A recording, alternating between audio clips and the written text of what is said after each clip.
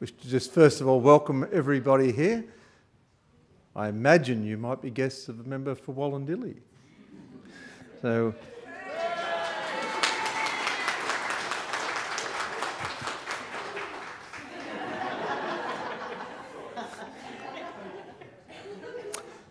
So, in accordance with the earlier resolution, the presentation of an inaugural speech by the member for Wollondilly will now proceed. Before I call the member for Wollondilly, however, I wish to warmly welcome all of you who are here in the public gallery to watch the member for Wollondilly's inaugural speech, which includes family and friends. I believe Mr Laurie Ferguson, former federal member for Reid, may be here. Is that correct?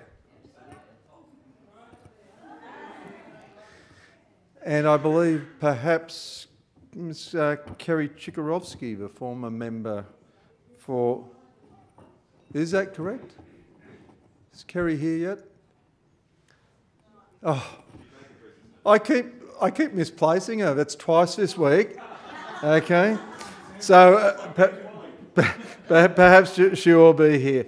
But regardless, I'm sure it's going to be a, a wonderful inaugural speech, and I call the member for Wollondilly.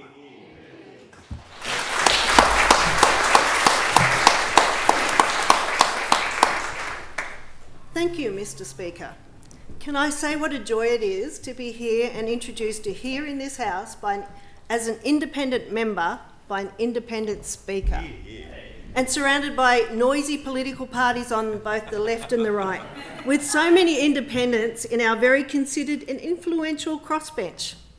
My inaugural speech claim, for, in many inaugural speeches claim for a hope of big political opportunities and careers to come and a desire for the ministry. From my perspective, and the people I represent in Wollondilly, there are no personal aspirations to get in the way of what is most important and what we can achieve along the way. I'm ready to take on the challenge and bring all my life experiences and learnings to the Parliament. The late and the great Dr. Seuss wrote, the more you read, the more things you will know. The more you learn, the more places you'll go. Lifelong learning is what motivates me to defeat the challenges for myself and to help others. The start of my journey, in many ways, began with my mother, who was always helping someone in our community. She was one of the first Queen's Guide in Western Sydney, and when I was seven, she enrolled me in Brownies. And to this day, I remember the promise I made on receiving my badge. It went like, I promise to do my best to do my duty to my God and my Queen, to help other people every day, especially those at home. I can see that. And I learnt that a promise is something you make for life and that home meant community. A promise not made lightly and a promise I hope to continue to fulfil for my community.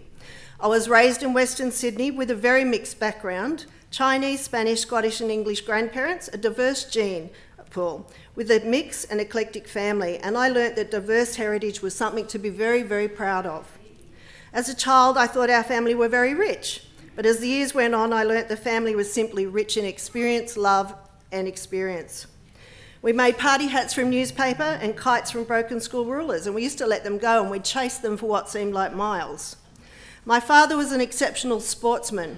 He made basketball hoops for me and high jumps. He ran kilometres with me to help me prepare for cross country races.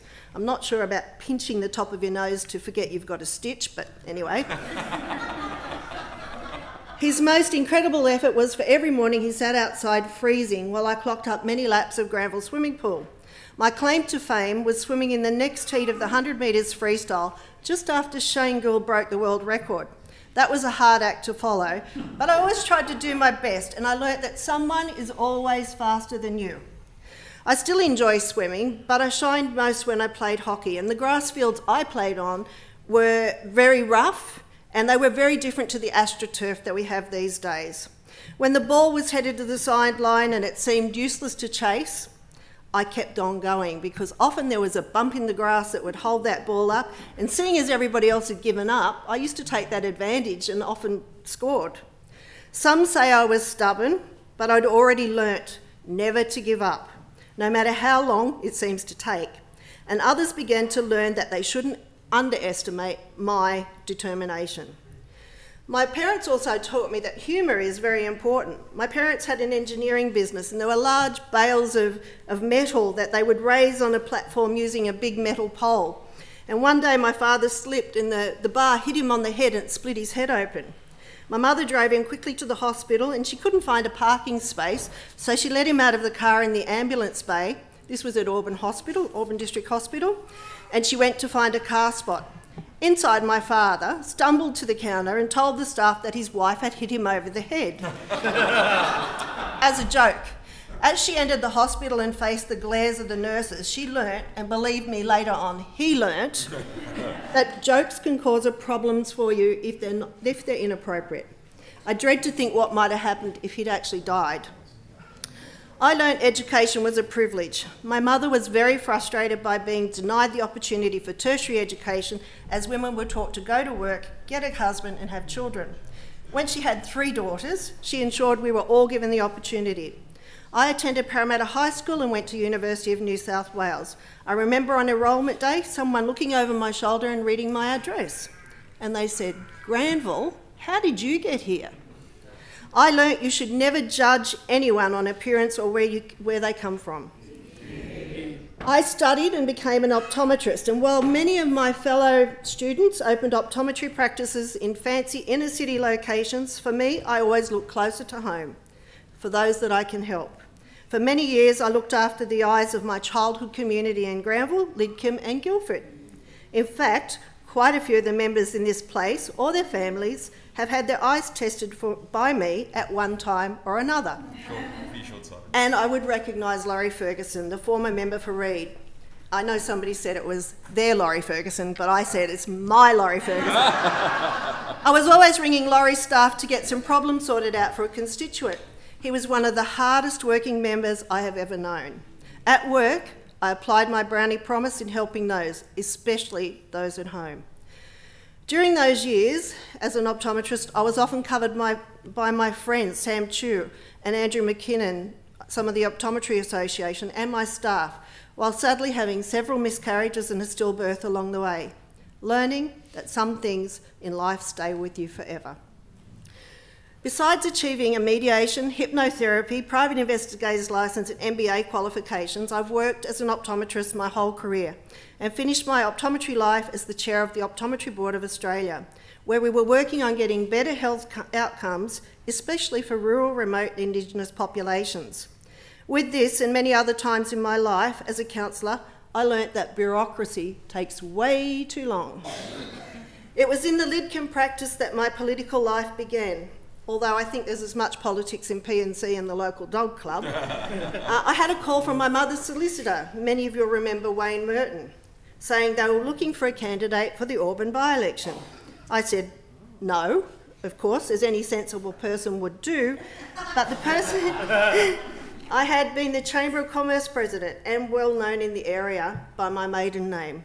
Encouraged by a patient I was seeing at the time, I finally agreed, even though I now lived in Wollondilly. I learnt to take an opportunity and never stay in your comfort zone.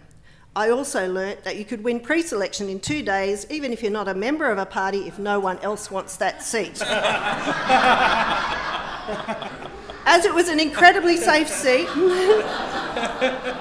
as it was an incredibly safe seat, I was highly unlikely to get elected, although it was one of the biggest swings against the Carr government. That election campaign, I became friends with many members in this place, including Kerry Chikarovski, who was the opposition leader. Others, both in government and opposition, with former premiers and members helping me in their much younger years. I learnt a hell of a lot. But I also learnt that later, despite friendships and efforts, others can disrupt and steer their own agenda for personal political gain. After the Auburn by election, where the lovely Barbara Perry became the member, I realised you could get attention for the plights of the community.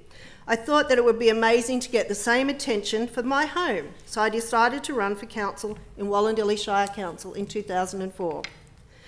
My first election was at a time when there were no, there were only independents, no parties in Wollondilly Shire Council, no teams, just a list of five names. And I stood in North Ward and I had the honour of being elected an honour I've continued to hold to this day after being re elected many times over.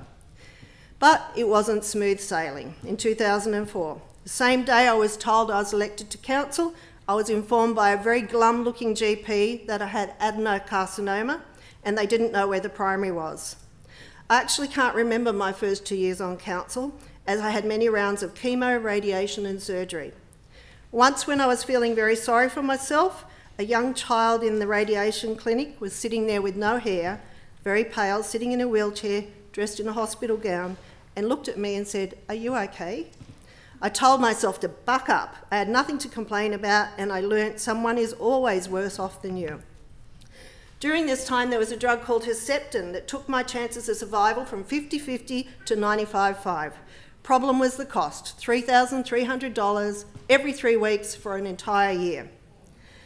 Coincidentally, close to the same amount as a political donation cap in the New South Wales election.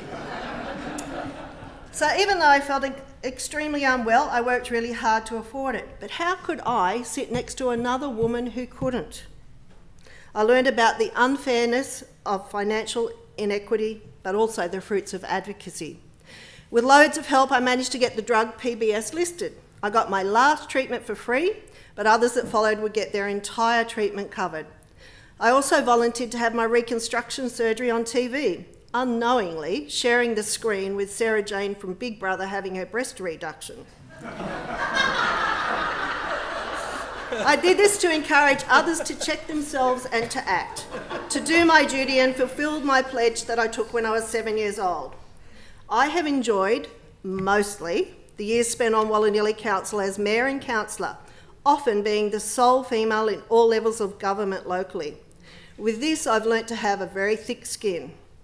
In many ways, Wollondilly and Wingecarribee have always had strong independent voices, both with mayors and local councillors, many strong personalities. Long-time councillors like my friend Emeritus Mayor Michael Banasik and often political opponent Cole Mitchell were all unique and very colourful.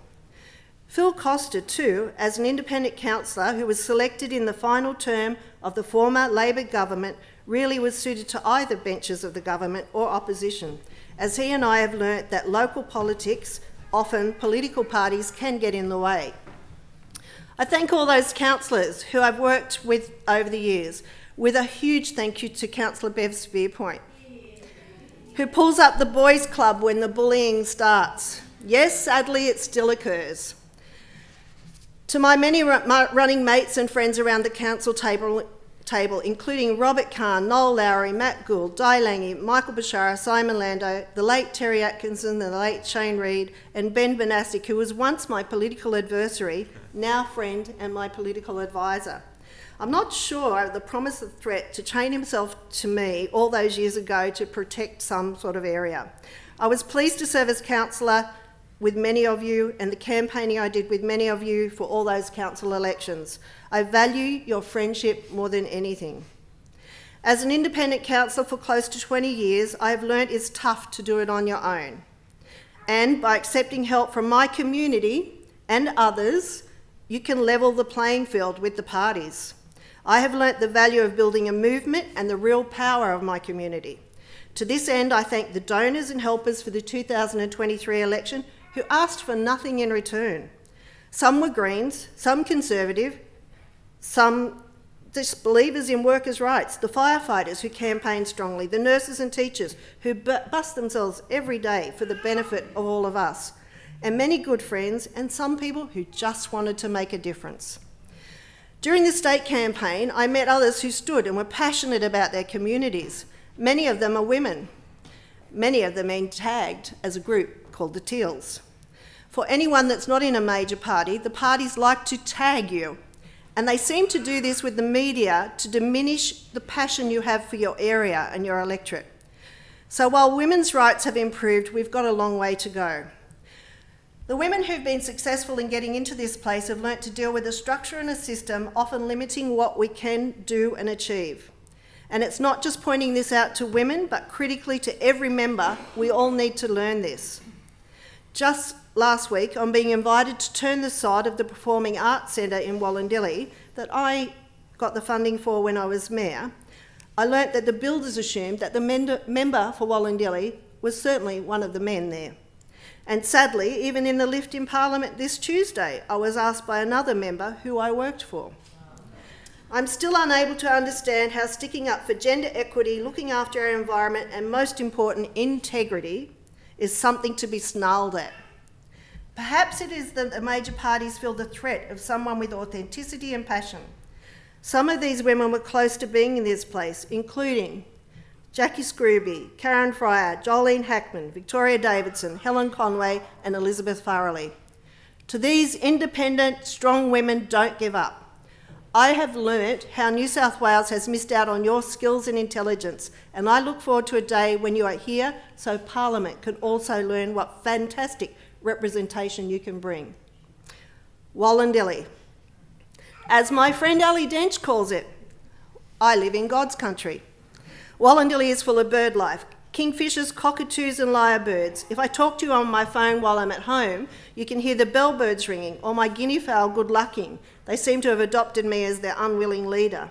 They come running when they hear my car come home, or they look when they see me through the window of a morning. It was with much shock on arriving in my parliamentary office a week or two ago that on the wall was a painting of a guinea fowl.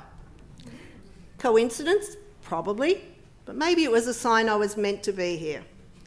We have goannas that steal my chookheads, wombats, kangaroos, and koalas. And a few years ago, I delivered a petition with over 13,000 signatures to save our chlamydia free koalas and was so disheartened when the Chamber talked about it, not even for five minutes. Mind you, not as disappointed as I've been with the, the clearing of the habitat that remains there now. I have learnt that Parliament does not always recognise what the community value. With changing climates, Wollondilly has suffered numerous floods and fires in the past couple of years. It is, however, one of the most naturally beautiful places in New South Wales, but it is also one of the most neglected by everyone except for land bankers and developers.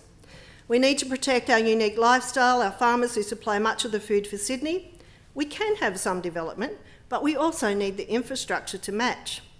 We are larger than the entire Sydney metropolitan area, and we only have a very small, underfunded hospital, two public high schools, no tertiary education provision, a major town connected by a one lane bridge and a hole in the wall, and I might add, a bypass promised for over 30 years, as well as an almost non existent, badly timed public transport system.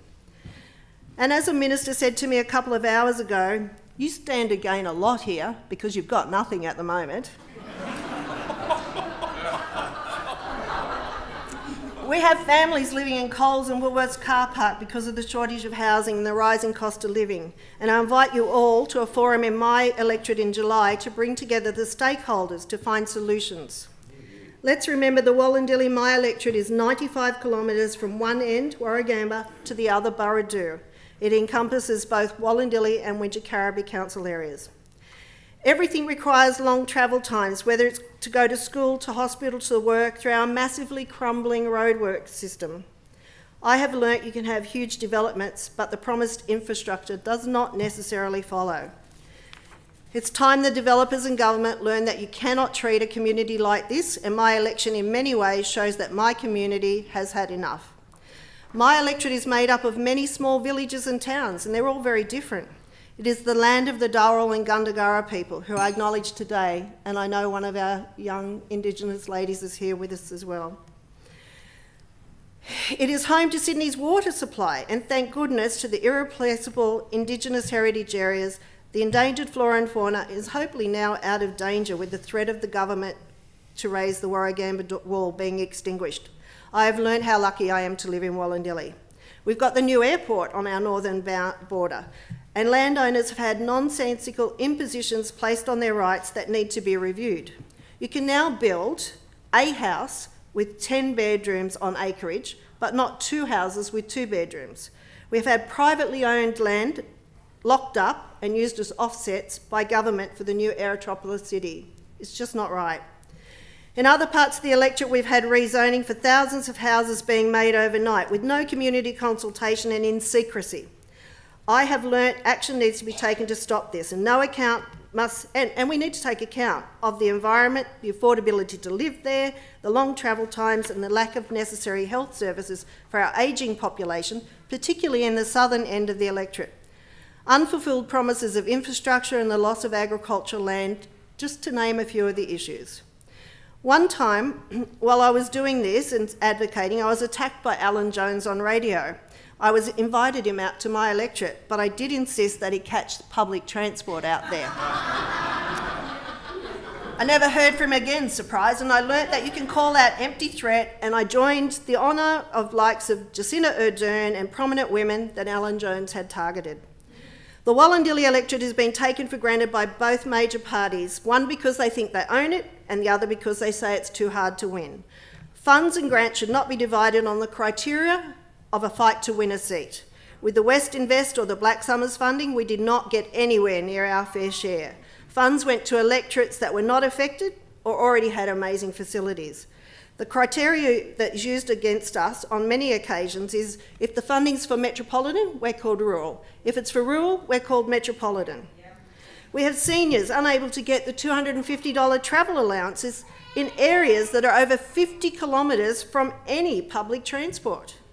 I have, and I hope the parties have learnt, there is no such thing as a safe seat.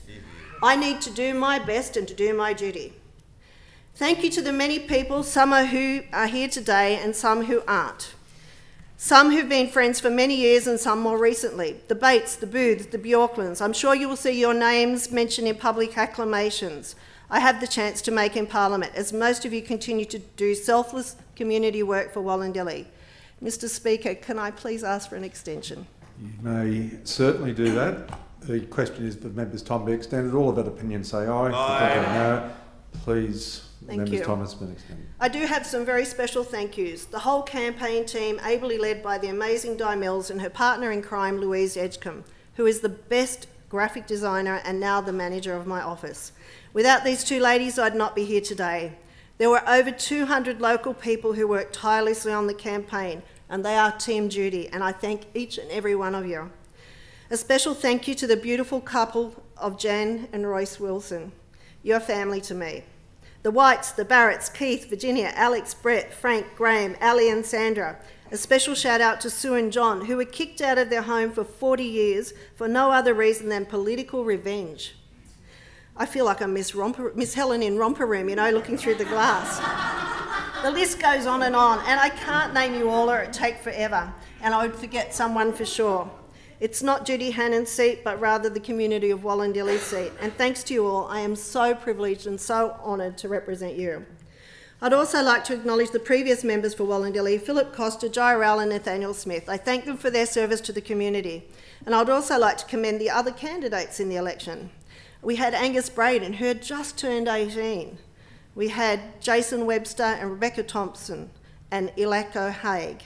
All of you represent a part of the community, and I look forward to your input over the next four years.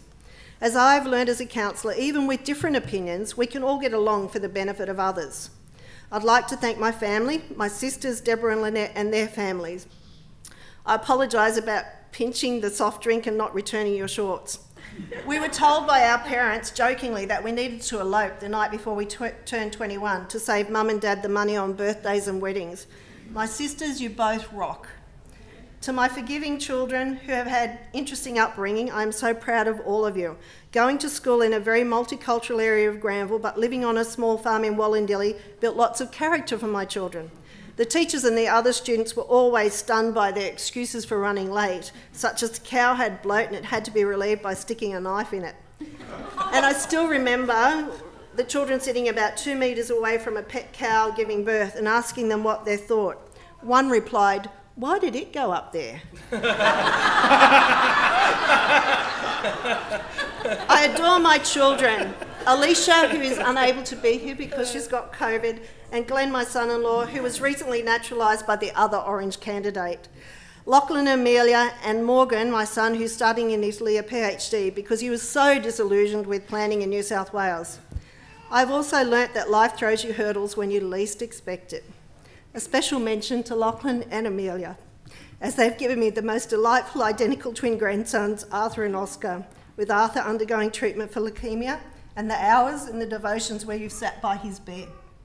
Those two little boys are the delight for all of us, and I love you all dearly. You're wonderful human beings who will fight for someone in trouble or being put down.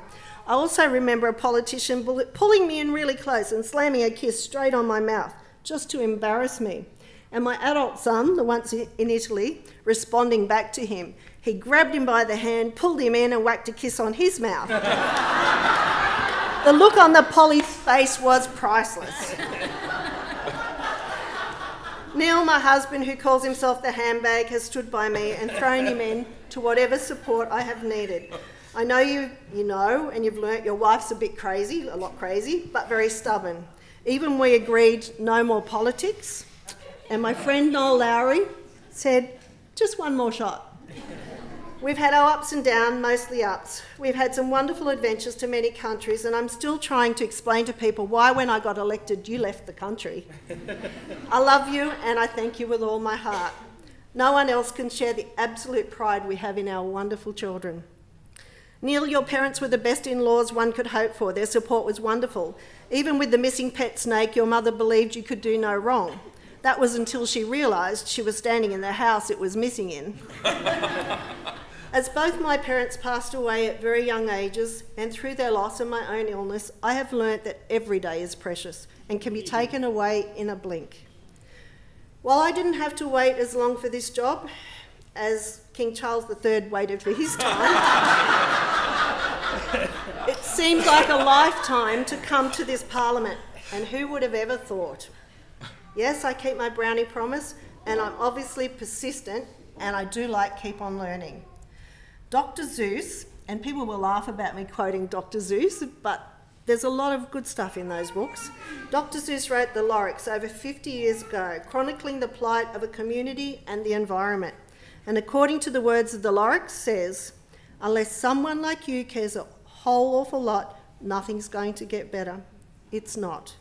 Thank you to my community of the Wollondilly and the Southern Highlands for allowing me to care. Thank you. Well done.